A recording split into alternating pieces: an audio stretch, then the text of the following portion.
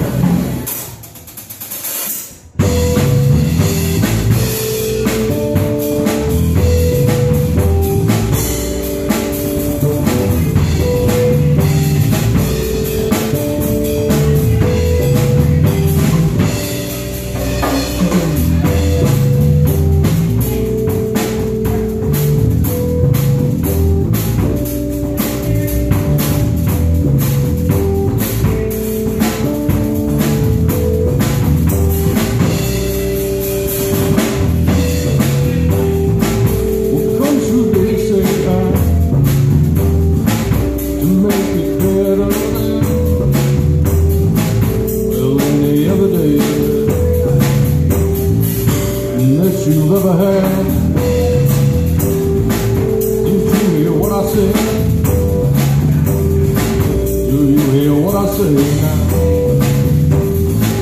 Did you hear what I said? Did you hear what I said? Ain't no one to get away. Ain't no one to get away.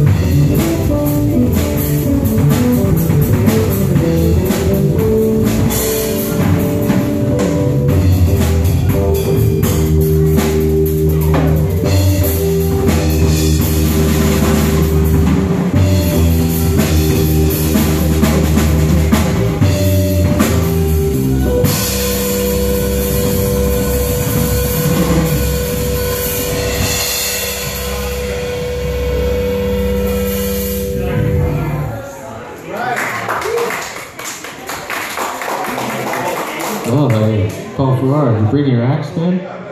No?